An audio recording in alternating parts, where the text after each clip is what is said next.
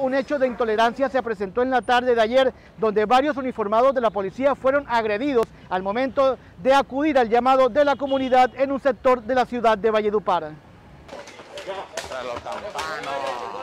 En video quedó grabado el momento en que uniformados de la policía eran recibidos a golpes por dos sujetos en aparente estado de embriaguez. Según testigos, habitantes del sector habían denunciado a estos agresores, pues se encontraban departiendo con otras personas y con la música a alto volumen. El día de ayer, en horas de la tarde, eh, es informado el cuadrante de policía de que en un barrio de Valledupar, al norte de la ciudad, se encontraba una aglomeración de personas consumiendo bebidas embriagantes y con un equipo de sonido a alto volumen.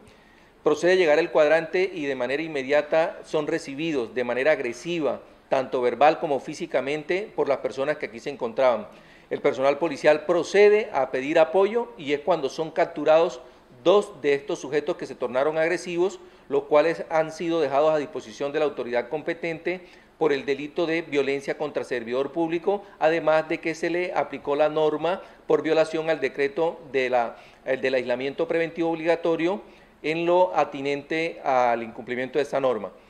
Es importante aclarar que eh, tenemos un incremento del 20% de los hechos de violencia contra servidor público. El comportamiento claro que la ingesta de bebidas embriagantes es, ha sido un detonante el crecimiento de la violencia intrafamiliar, el crecimiento de la intolerancia que ha generado la preocupación de, las autoridades y encontrarse que,